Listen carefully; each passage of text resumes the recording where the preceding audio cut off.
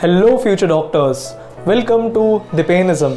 I am doctor Dipen Shah and हम लोग discuss कर रहे हैं concept from morphology of flowering plants and that is about placentation now placentation का मतलब होता है arrangement of ovules within the ovary as we are aware कि ओवरी के अंदर ओव्यूल का प्रेजेंस होगा एंड ओव्यूल एक स्टॉक से अटैच होता है with the ovary and stalk जिस पॉइंट पे अटैच होता है to the ovary there is presence of a fertile tissue और उस फर्टाइल टिश्यू को हम लोग बोल देते हैं प्लासेंटा सो इस प्लासेंटा के रिलेशन में ओव्यूल्स का जो अरेंजमेंट होता है, उस क्लासिफिकेशन को we call it as placentation so placentation में डिफरेंट टाइप्स डिस्कस करने से पहले I want you to know that कुछ भी हो जाए लाइफ में,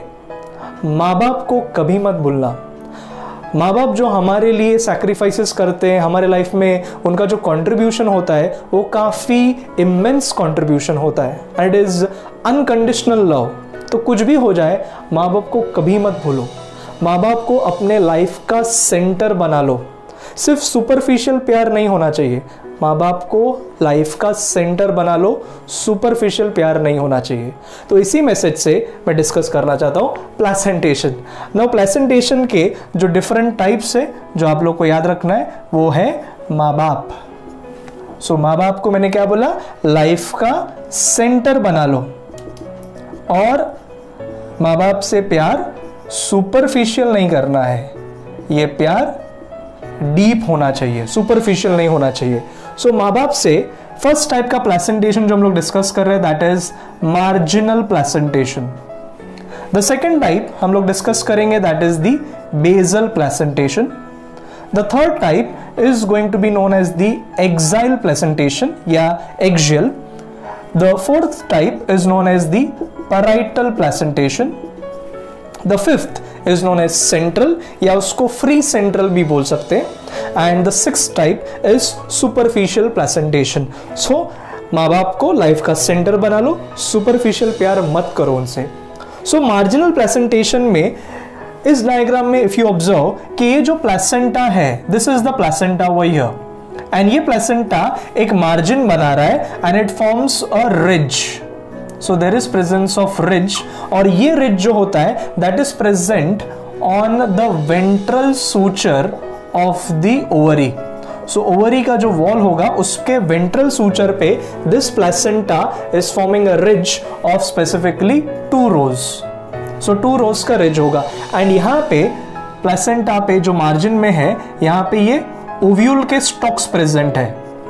एंड इस ओव्यूल के स्टॉक पे यहाँ पे प्रेजेंस होगा ओव्यूल का।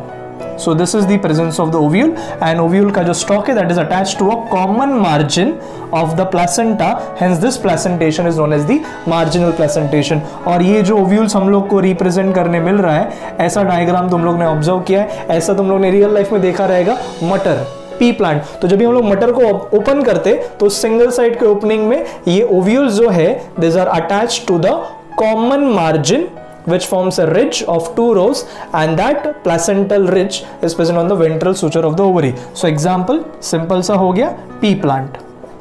उसके अलावा even acacia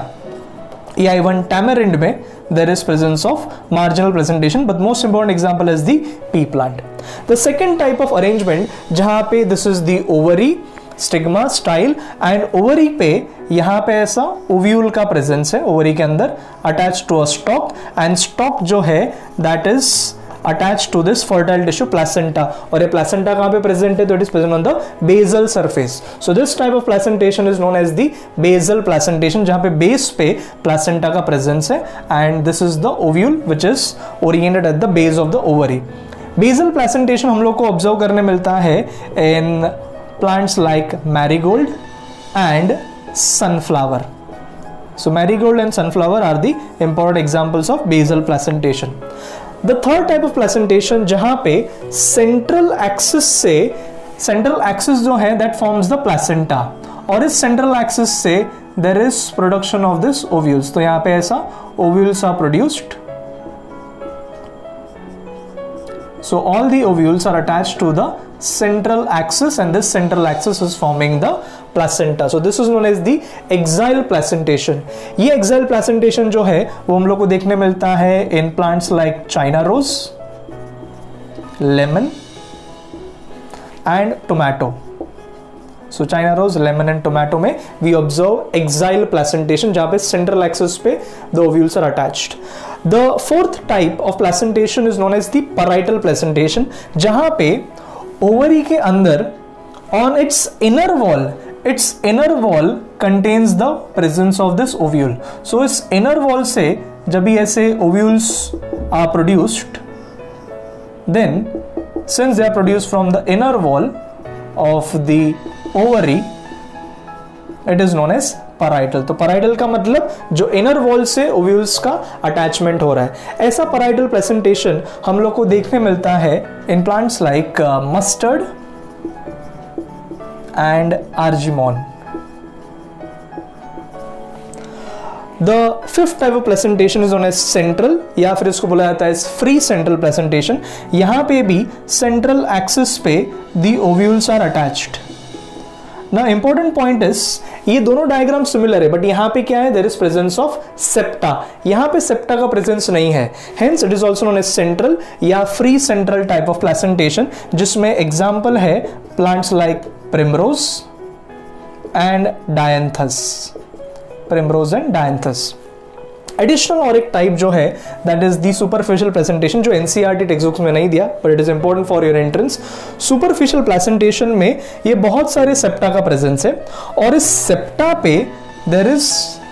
origination of this ovules तो ओव्यूल्स ऐसे बहुत सारे रहेंगे but they are arising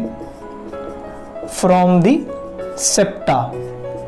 so ऐसे हर एक चेंबर में से many such ovules are being produced and superficial वाला जो एग्ज़ाम्पल है that example of the plant is water lily या फिर it is known as nymphaea the scientific name is nymphaea और water lily okay now, when you observe different diagrams और एक point जो तुम लोग को एंट्रेंस के लिए याद रखना है, कि यहाँ पे जो ओवरी प्रेजेंट है this ovary is going to be known as the unilocular ovary this is unilocular ovary और इसमें एक ही कापल में ऐसे बहुत सारे ओव्यूल्स का अरेंजमेंट है। This unilocular similarly basal presentation में भी there is a single chamber hence it is also known as unilocular ovary but when you observe this axile presentation यहाँ पे there is presence of septa जिसके ऐसे बहुत सारे compartment है। इसके लिए एक्साइल प्रेजेंटेशन में we mention that it is multilocular so यहाँ पे जो वरी होगा that is multilocular similarly in parietal presentation there is a single chamber only so again this will be known as the unilocular but you can remember that parietal presentation में there could be presence of a septa which is known as a false septa और इस false septum का अगर presence हुआ then it becomes bilocular but otherwise it is unilocular only similarly central में भी you can observe यहाँ पे septa का प्रेजेंस नहीं है hence this is a unilocular ovary यहाँ पे totally septa are absent and superficial में देखें तो बहुत सारे लोक्यूल का प्रेजेंस है so this will be known as the multilocular ovary and इसी मल्टीलोक्यूलर ओवरी में सेप्टा पे ही ovules are produce so this is the in detail discussion about placentation where we have discussed arrangement of ovules with respect to the presence or position of the placenta. So remember placentation में माँ बाप को भूलना नहीं, कभी भी उनको हमारे लाइफ का सेंटर होना चाहिए एंड सुपरफिशियल नहीं इन डेप्थ लव होना चाहिए दैट्स ऑल फ्रॉम द पेनिज्म